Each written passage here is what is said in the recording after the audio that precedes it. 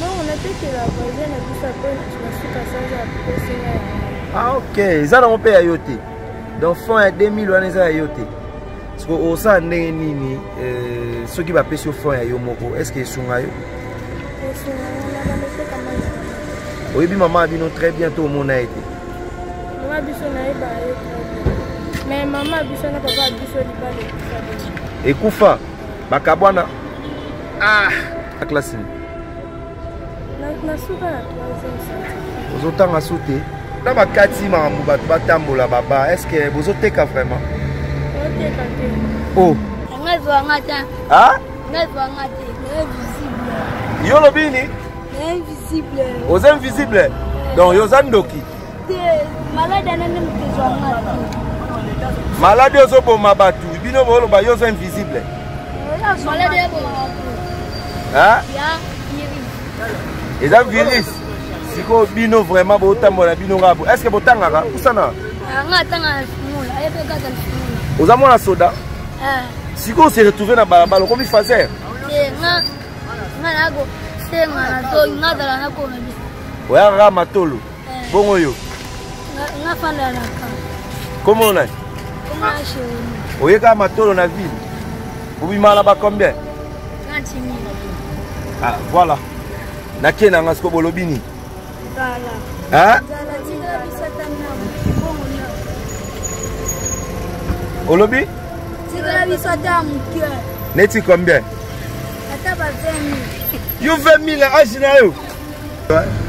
ebele mpe baoteka te ebele kaka boye babilo ebele eza ya kokangama euh, donc euh, euh, baroulage mpe baosala ya bango boulot bato ebele donc on se retrouve la semaine prochaine merci à annie walo et na profite napesa mbote l'art d'illuminer votre beauté actrice de tous les désirs de toutes les émotions Grâce Beauté vous invite à la découverte de soi, à l'élégance du geste qui réveille,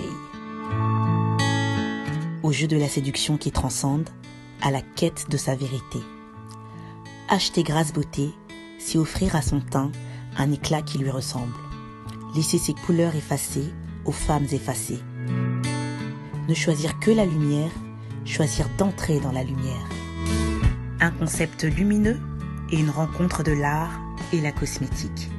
Grâce Beauté Cosmétique Paris est une création lumineuse et audacieuse, née de la rencontre entre un atelier de beauté spécialisé en cosmétique ethnique, de l'art en l'hommage à la femme noire,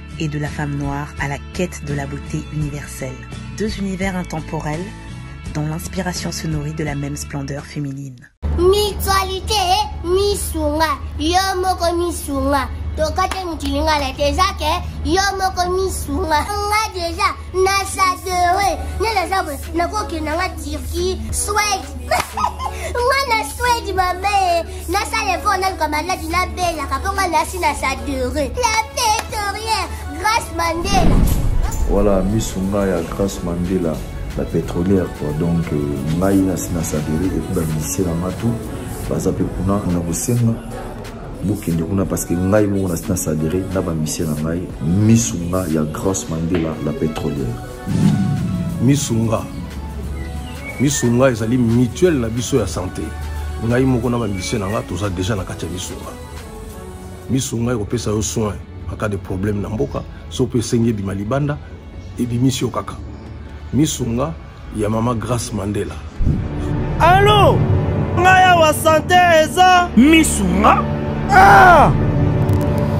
Hey, okateli nga lingala mpo na sante ya mwana Mon fils pour ma santé misu nga ah!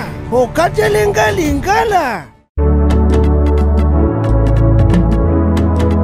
bandeko misu nga ezali kokatela motu lingala te ezali mutuelle de santé oyo epesameli na bato nyonso employe to non employe motu nyonso oyo akoki kaka kokontribue na mbongo mokie na fin du mois mpo ete mokolo akobela misu nga ezwa swe na ye na bahopito nyonso ya minene ya république démocratique du congo soki maladi na yo bakoki kotrete yango awa na kongo te misu nga akozwa charge na yo okende kozwa soin na bamboka lokola afrique du sud turquie suède russie to inde kala mingi te na bamboka misusu soki motu oyo misu ngai ezwaki charge na ye mpo na basoin nzambe akamati molimo na ye misu ngai akosokipe na mort na corbillard ata bandeko oyo bazali libanda bakoki koadere bandeko na bango awa na congo mpo ete bazwaka swe awa na mbongo bango bazali kofuta na misu nga ta sante se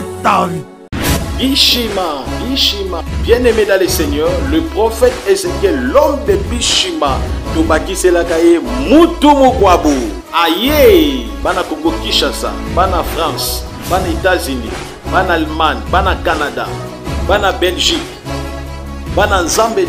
dans le monde entier voici le prophète ézéchiel l'homme de bishima benga yaya benga papa êtes malade obelaka cirrhose de foie cancer de l'estomac cancer de matrice cancer de cerveau cancer de seins épilepsie diabète rhumatisme impuissance sexuelle hémorroïde VIH sida, hepatite B, faiblesse sexuelle.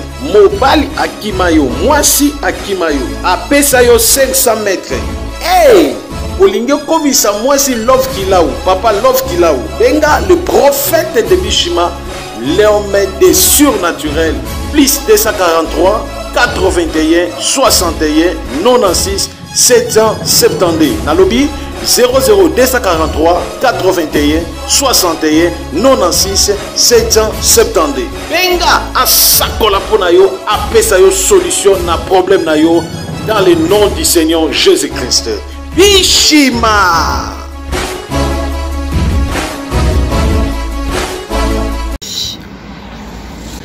bonjour Kombo nani? Agnès. Agnès, mwasi kitoko. Est-ce que ndenge ozoteka mai bo gagnaka nango mpe? Euh. Euh, osombaka paquet combien? Paquet 2000. 2000. Euh. So oteka ozwaka ya bénéfice ya combien? Ya 2000. Mais oza na ba parents te? bosco elonde ezotinda otekaka mai boye na balabala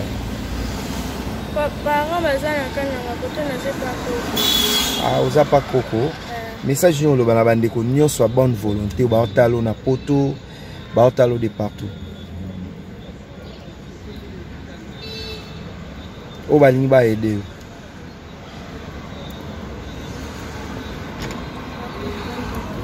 agnès mpo bato baede oyo bazwa wapi ovanda place nini na camp eh. eh, baparent no batikala na camp nanga sikoyo bato bazoba maladi ya coronavirus yo soki ozo se protege ndeni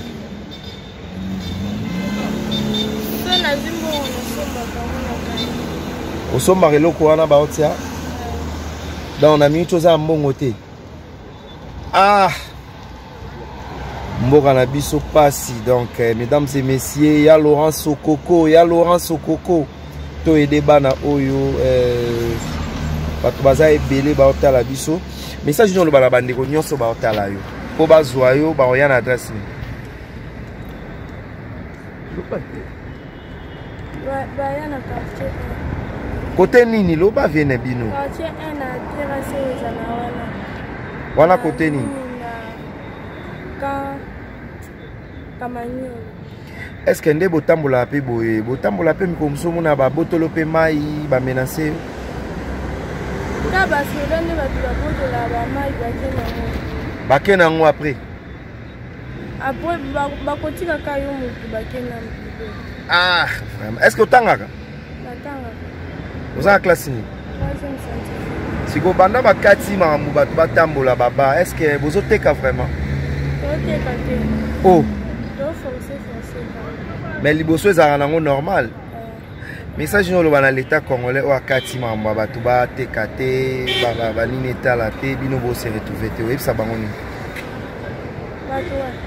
baoyo bakati makambo ya babar makambo ebele ebele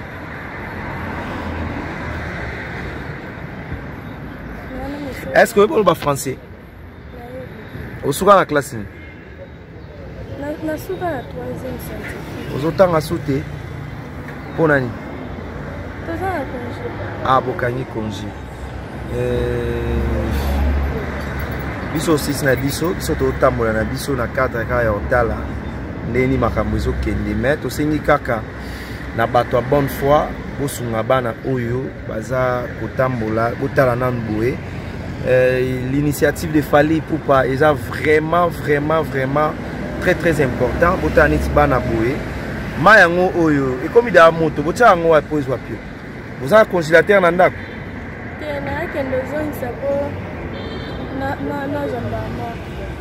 ozwa mbala moko ozwa mbala moko ndeni nakende ozwa nyongo nateka mpo nabozala pake ya mai botekaka yango bosomba yango combien 2000 francs bénéfice ezala combien ya 2000 apres osalaka nde nini na mbongo wana ozwaka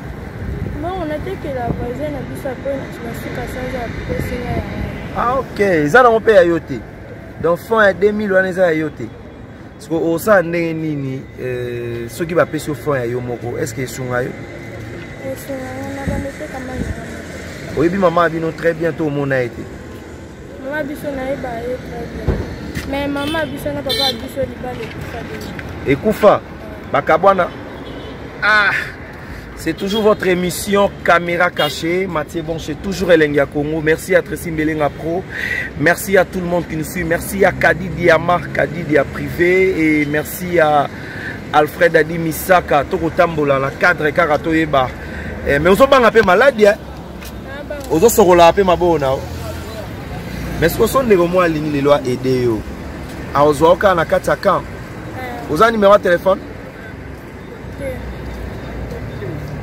Numéro de téléphone eza te. Bon, poto sisa na message ni asuko olobi.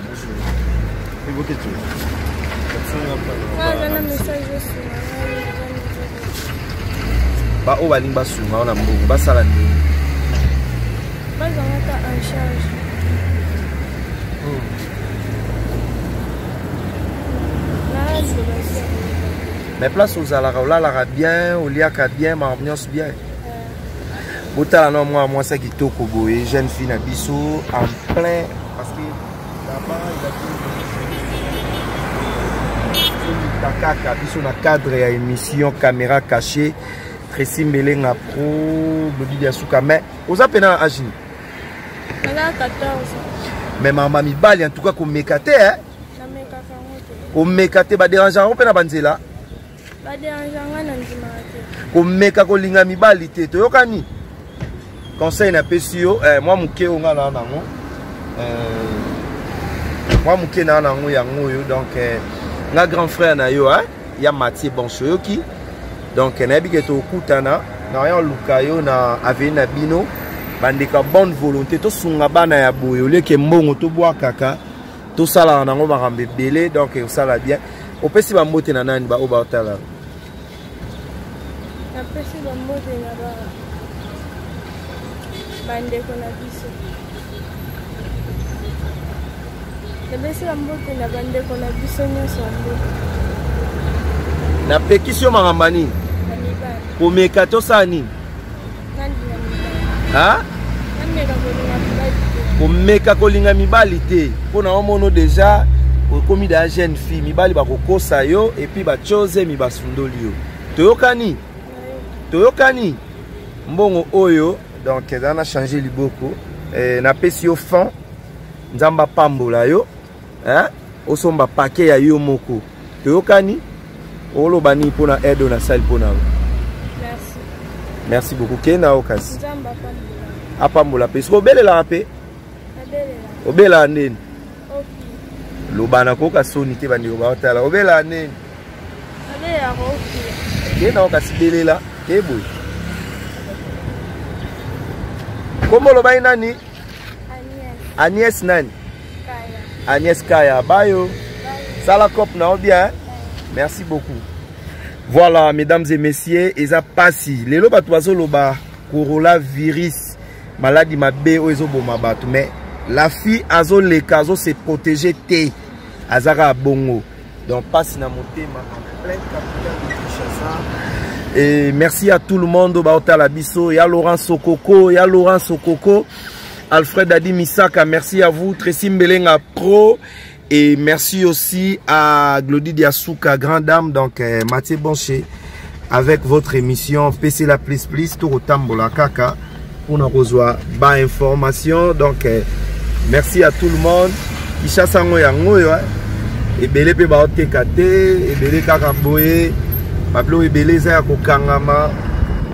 euh, donc euh, euh, ba roulage pe ba sala ya bango boulot ba te belé donc euh, on se retrouve la semaine prochaine merci à Annie Walo et na profiter na pesa mbote na bande ko nyoso yo balingaka émission pesa la misu pe bango yo boya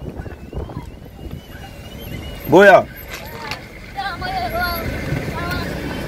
bonjour Denis bino sikoyo boko se protéger te ndeni Comment on a Daniel. Daniel, pourquoi se retrouver dans Balabala Après, Maman Zamaluna, âge, na oza âge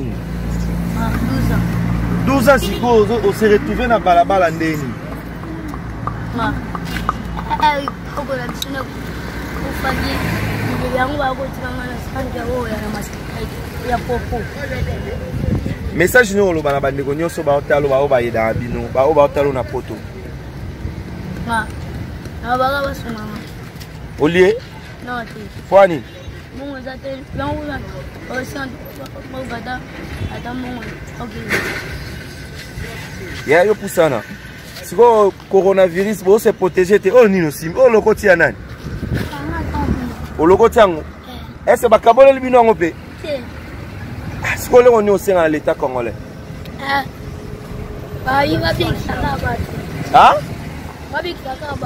babikisa bato ese eh. bapesi bino biloko base protegeaka wana sikoyo ozotambola bo soki ezwi yo nga ezwanga te nga ezwanga te yo olobi nini oza invisible donc yo oza ndoki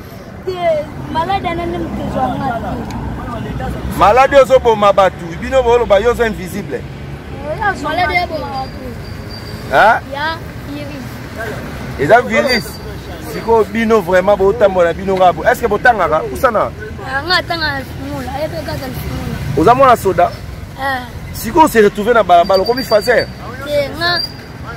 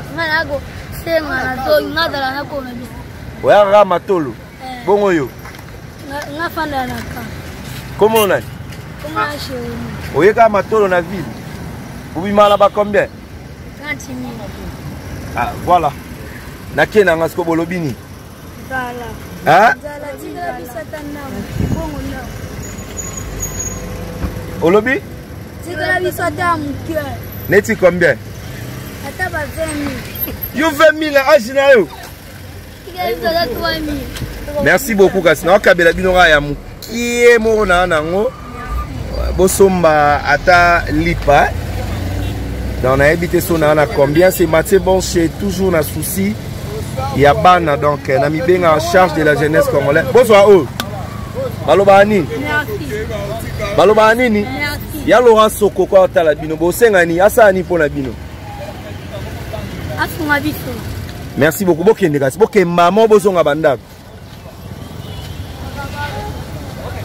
Ça est fini, mesdames et messieurs. On se retrouve la semaine prochaine avec l'émission Caméra Cachée. Mathieu Boncher, Kadi Diama et pourquoi pas tout le monde. Merci à Odilon Mampouya, Yanni Wallo, merci à vous. Merci aussi Alfred Adi Misaka. Merci à tout le monde. se retrouve la semaine prochaine. Bye.